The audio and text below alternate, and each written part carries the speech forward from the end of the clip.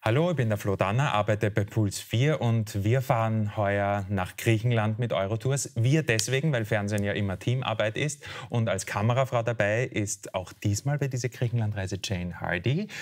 Aber die Jane arbeitet ja redaktionell auch ganz verstärkt mit und außerdem spricht sie akzentfrei Englisch. Auf Englisch klingt alles cooler. Jane, sag du, worum es geht. Thank you, Flo.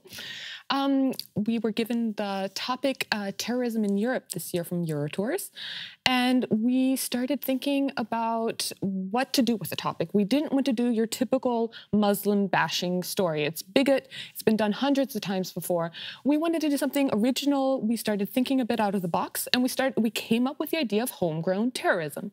So that's what we'll be looking into. Und das natürlich auch in einem Land, in dem die Krise ja voll zugeschlagen hat. Wir werden einmal nachrecherchieren, was es da gibt und freuen uns auf die vier bis fünf Tage in Griechenland.